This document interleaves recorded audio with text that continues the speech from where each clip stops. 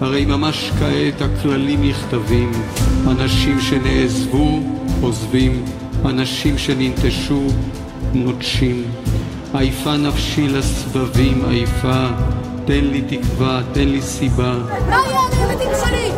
הם יופקרו כמו ילדי עוטף! כי אם לא נקום מהאפר כעת, לא נקום כבר לעולם.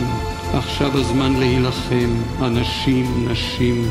עכשיו הזמן לצאת לרחובות ולכבישים. ויש למען מי להילחם ויש על מה. כי מתנה כזאת מהחיים לא נקבל שוב לעולם ולא תצמח לנו שוב מדינה מתוך המדנים. ויש למען מי להילחם. הכל כעת תלוי בכם. עכשיו הזמן לקום, לחיות, להיות לעם או לא להיות, להיות אדם או לא להיות, ויש למען מי ויש למען מה, והכל תלוי על בלימה.